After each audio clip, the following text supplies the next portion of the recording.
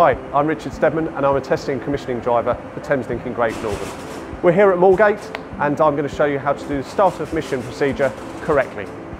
The whole procedure starts with keying on, and the first thing to check is whether the train is enabled to run in level 2 or not. TPWS and AWS operational.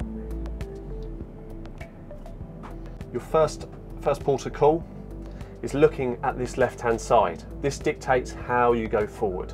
I can see that we're in level NTC and level 1 and 2 is inhibited. So we need to enable it.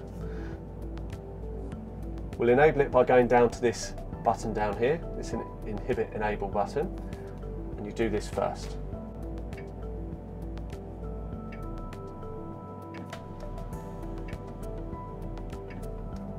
Now we can enter our driver ID.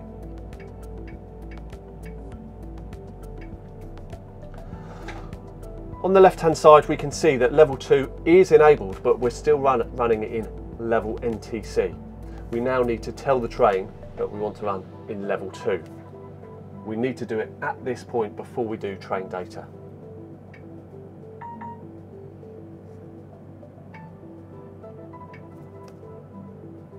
We can now contact the last RBC.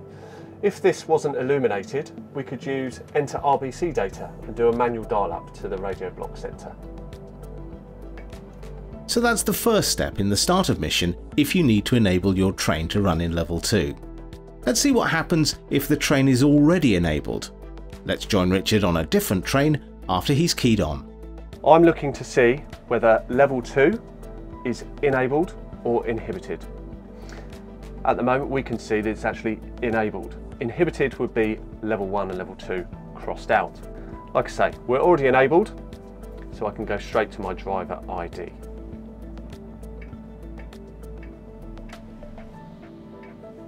So, we need to go to level, and we can select level 2 because level 2 was enabled when we put our key on.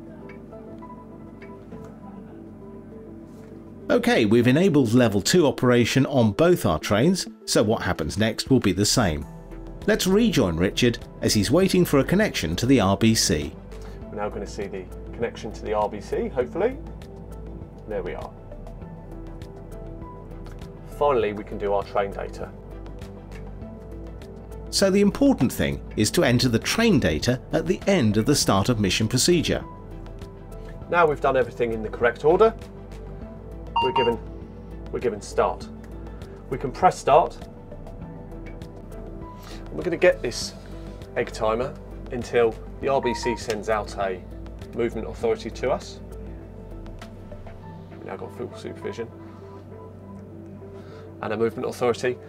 Before you do eh, make any train movements, please ensure that you have a movement authority and if we've got line side signals, that they correspond with the movement authority. So there you are. You've seen the correct way of completing your start of mission. If you don't do the start of mission correctly, you're going to have a lot of paperwork. You may have a risk of a trip incident as you go out because you may have forgotten to use the override. This causes delays for our customers, a lot of paperwork for you guys as drivers, and there's a lot of faff because you're going to have half a train in the platform, half the train out. So let's recap. First, key on.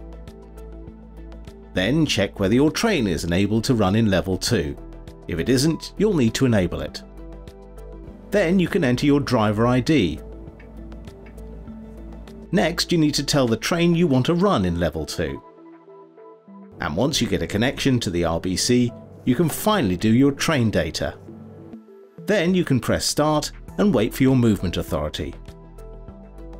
If you want to ask a particular question to the team, you can always email askectp at gtrailway.com and there's more info and videos on the ETCS SharePoint. Thanks for watching.